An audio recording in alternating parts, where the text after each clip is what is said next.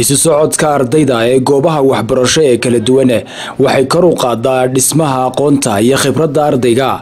Arday ka socota jaamacadda golis hargeysa gaar ahaan qeybta cilmiga barashada xanaanada xoolaha ee loo yaqaan afka qalaad fitinary ayaa soo gaadhay magaalada burco kuwaasi oo booqday goobo muhiim ah oo ay ka mid ahaayeen kawaanada xoolaha lagu qalo iyo sariibada kalluunka ee magaalada burco.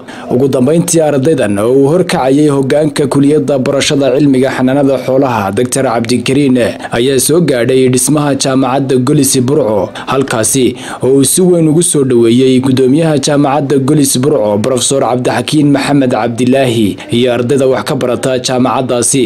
Laba arday oo ka mid ah ardayda booqashada iyo aqoon kororsiga u yimi magaalada burco oo sahan t v la hadlay ayaa cabiray dareenka ay kala kulmeen booqashadaasi runtii waxaa aad u mahad celinaa madaxda gobolka gudoomiyaha jaamacadda sidoo kale waxaan mahad aad iyo aad ballaaran ugu mahad celinaa dhinkayga doctor cabdikariin sidoo kale doctor cabdiraxmaan sidoo kale waxaan mahad celinaa dadka meelihii aan booqanay dadkii mas'uulka helaa ay ka mid yihiin doctor cabdikariin. Runtii waxaan booqanay meelo kala duwan oo ay ka mid tahay taya oo meesha ah hilibka lagu gareeyo oo runtii ah meel modal ah oo sida loo qaabeeyey sida loo qaabeeyey adyaabisid oo xoolaha lagu qalo. Sidoo kale saakaban waxaan booqanay subaxnimadii qaybtan hilib fishinka fair fishin oo iyaduna aan tagnay ka soo korsanay aqoon kala duwan sida hilibka kalluunka sida loo qalo. Waxyaabo ka duwan yahay noocyo kalluuna kala duwan xanuunada ku dhaca kalluunka waxyaabo fara runtii ka faa'iidnay. Sidoo kale insha allah haddii la ka dhigo waxaan tegi doonaa berberan si mari doonaa. Waxaan ka mid ahay ardayda jaamacadda gulis ee maanta ku sugan gobolka togdheer gaar ahaan magaalo madaxdiisa burco. Runtii imika waxaanu ku sugannahay jaamacadda gulis ee qaybteeda burco. Waxaa runtii aada iyo aada ugu mahadnaqaynaa. Waxa weeye guddoomiyaha oo aad iyo si aada iyo aadan noo soo dhoweeyey. Iyo dhiinkayaga doctor cabdikariin cismaan mooge oo runtii qeyb lixaadle ka qaatay inaanu halkan imaadno.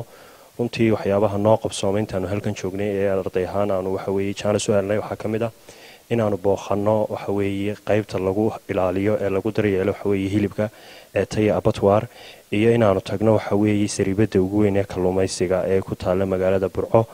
Iminkana waxaanu ku sugannay waxaweeye jaamacadda gulis qaybteeda burco. Markaa runtii waxaanu aada iyo aada ugu mahadnaqayna haddaanu ardayda nahay dhammaan dhakhaatiirta veterinariga ee nala socday si gaaran waxaan ugu mahadnaqaynaa gudoomiyaha jaamacadda. Geesta kale doctor cabdikariin hogaanka kuliyadda barashada cilmiga xoolaha iyo xanaanadooda ayaa ka waramay ujeedada safarka ardaydaasi.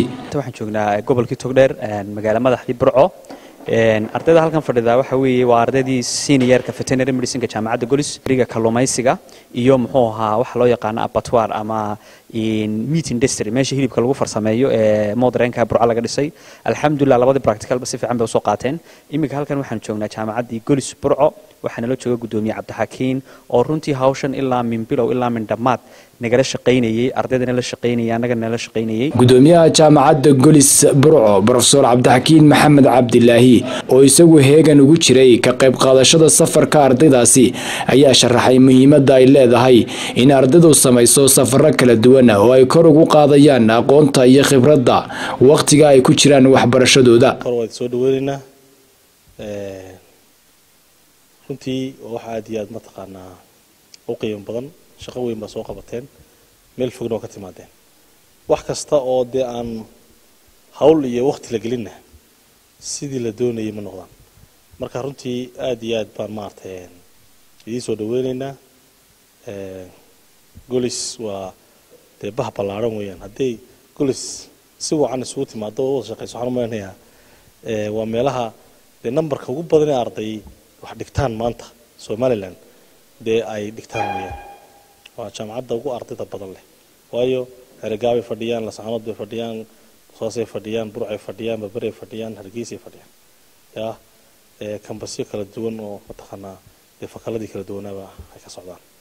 Marka kolley aad baan ugu mahadnaqaynaa dhiinka fakalkan oo runtii aa dhiin aada u fircoon. Intii uu shaqadan hayayna runtii wax badan iska bedelay maarta fakalkani oo maanta aan oran karo fakalka ugu actifsan ee veterinarya ee socda ee somalilan ka socda inuu yahay mataqaanaa fakalka goliska furan. Sida ay ardaydu isugu xidhan tahay sida laabkeeda iyo waxooda ay u barakskarayaan iyo sida fielska ay u baxayaan ee shaqadan u qabanayaan. Waxaan filayaa inaad wax badan soo faa'iideen waayo markaad magaalo kala timaado marka laga yimaado magaalada iyo aragtideeda iyo mataqaanaa muuqaalka guud ee aad soo baranayso iyo dee environmentka aad baranayso dee shaqadiinii gaarka ahayd burco waa meelaha xoolaha ugu faraha badan leh. Inta badan soo maraan xilligan mawsimkan xajka aada u yimaadaan. Kawaanka ka dhisan waxaan u malinaya waa kawaan aada isna u diyaarsan. Kolley isna waad soo aragteen. Marka waxaan rajaynayaa haddii la yiraahdo dee inaa wax badan ka soo faa'iideen.